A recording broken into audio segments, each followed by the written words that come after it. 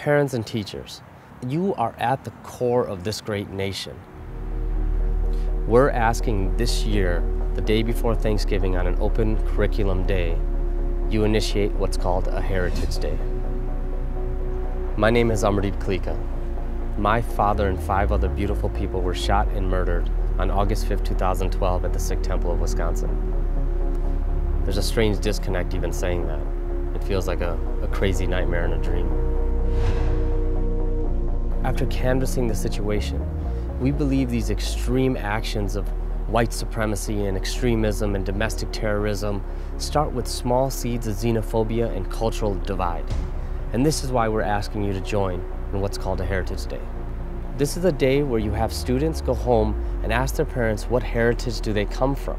Come back the next day and share something about that, whether it be clothing, a song, food. Have your students share with each other the immigrant heritage experience because that's what we all are.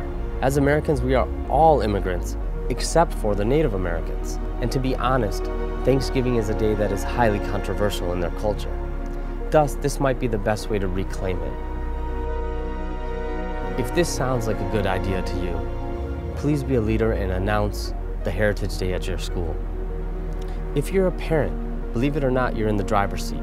Pick up the phone and call your principal and ask them to do a Heritage Day. We'll even help you out.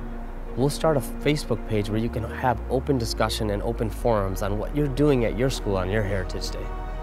Please, please pass this video around. Share it, tweet it, put it on Facebook, email it to as many parents and teachers that you know. Hopefully, if Heritage Day is a success, maybe something like what happened on August 5, 2012 at the Sikh Temple of Wisconsin will never happen again.